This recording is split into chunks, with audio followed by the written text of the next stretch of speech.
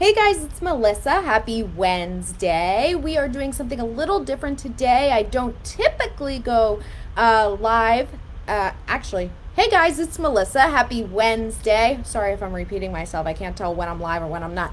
Uh, we are doing something a little bit different today where I am going to do an in studio um, tutorial. So, what we are going to do is uh, I'm going to show you how to set up a multicolor vinyl design and layer it in Silhouette Studio. So the second part of this, we will not be able to do the actual cutting part and the actual assembly, but I have done many uh, Facebook Lives and tutorials on that part of it, and I actually linked to one so you can see the second part of it um, from there. So what I'm going to do is I'm going to switch over. You are, I'm going to go away for a second. You're going to see my Silhouette Studio, and we will talk about how you set up a multicolor design in Silhouette Studio to use. Oh, there's Bob. Hi, Bob.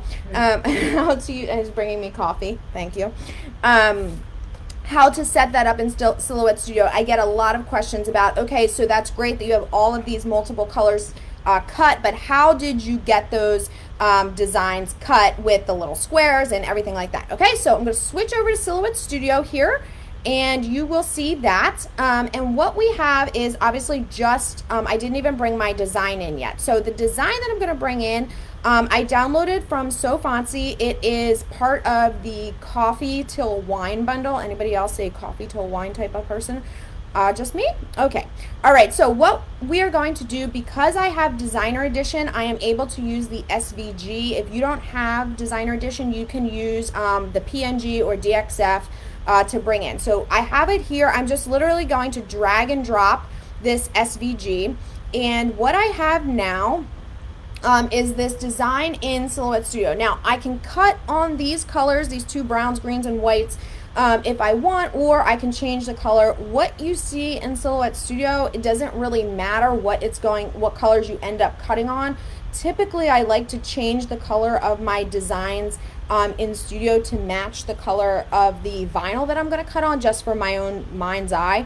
Um, so let's just change this to something a little, you know, brighter. I don't know. Let's, uh, not pink maybe, but uh, I don't know. This, let's just I like this to be a little more appealing, I think. And uh, I like a lot of cream in my coffee, so we'll do that. And then I'm just going to change this. Okay, I don't know. It doesn't really matter because we're not actually going to cut it. But anyway, okay, so what we have here is our design. Um, I'm actually going to open up the page setup panel. Now, you can, if you like these block, the grid behind, you can keep it. I don't typically like, like it, so I usually um, adjust the transparency to get rid of them. You can adjust that to your liking. Okay, all right, so now, how are we going to cut this all on separate pieces of vinyl and then uh, layer it back together so the circle's perfectly aligned, this blue piece is perfect. How are we going to do that? What we are going to do is use registration marks. Not registration marks like we would for print and cut. Those are only for print and cut. These are a different type of registration marks. These are registration marks that you are going to use by using the draw a rectangle tool on the left sidebar. So if you click that and then you just draw out a rectangle um, and you can duplicate it however you want. You can either draw another one, you can, you know, copy paste, you can right click copy. There's multiple ways to duplicate. Um, so however you're going to do that, you're going to, whoops, I'm going to copy paste. And now what you have are what you've created are registration marks. Now, um, I highly, highly suggest that your design be filled with color and that you fill your registration marks with color. And you, this is important that you fill the registration marks with a different color than any color in the design. So for it doesn't matter what color. I'm just going to pick green um, so that you can see it. Now, you have two options here okay you can separate this design um, and you know have all the pieces separate and cut them all separate or you can cut by color I'm going to show you both options and just please realize that you're only taking one of these options also please realize if you're commenting my entire screen is taken up from Silhouette Studio so I can't see comments right now um, so option number one okay I'm gonna make I'm gonna put this over here so you know option number one okay because we have two options First option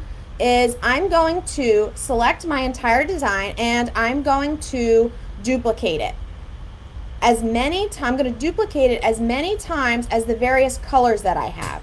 So in this example, I'm going to make these a little bit smaller so we can fit all on our workspace. So in this example, I need to, I need four different copies of my design because we have one, two, three, four, okay? Now, I'm going to separate these a little bit so we can make sure that the registration marks don't get confused. Now this is important. Once you do this, the registration marks need to stay in the exact same position on all copies of your design, okay? And what you're going to do is you're going to go through each portion of the design and delete different areas. So in so in this part, we're going to delete all everything except that white cap. In this section, we're going to delete everything except the two brown pieces. Okay? Again, important that you keep those registration marks exactly where they are. In this section, we are going to delete everything except the blue piece. And in this section, we're going to delete everything except the pink circle. So what you have now, and I'm going to group these together, what you have now is your entire design um, what you have is your entire design all in, uh, split up, okay? If we were to put these all together, and we can do that by, by uh, doing this, what you have, oops, it didn't work because, here, let's do it like this.